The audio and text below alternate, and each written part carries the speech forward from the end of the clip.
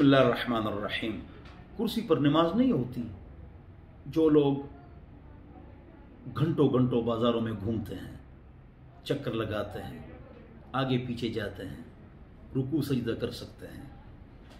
लेकिन सुस्ती की वजह से या मामूली दर्द की वजह से बस कुर्सी पर बैठ जाते हैं। बुरी बात है।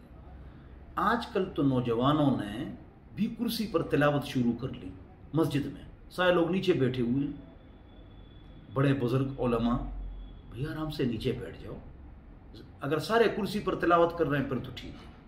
इस तरह मत करो। इसलिए कि आप जवान हैं। कुर्सी उसके लिए जायज़ है जो न रुकू कर सकता है, न सजदा कर सकता है और कर ही नहीं सकता है या सजदा नहीं कर सकता है, बिल्कुल। और कुर्सी से बेहतर ज़मीन है, लेकिन चलो, कुर्सी पर जायज़ है। सिर्फ़ उसके लिए कुर्सी की जायज़ है।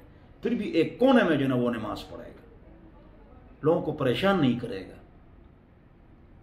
तो सुस्ती पर न जाओ। बगैर खड़े होकर बैठ कर नमाज़ पढ़ना ये नहीं होती। क्याम फ़र्ज़ है, जो क्याम कर सकता है और जो पूरे दिन बाजारों में राजा बाज़ार घूमते हैं, वो सही नमाज़ पढ़े, अल्लाह से डरें, वरना उनकी नमाज़ नहीं होती।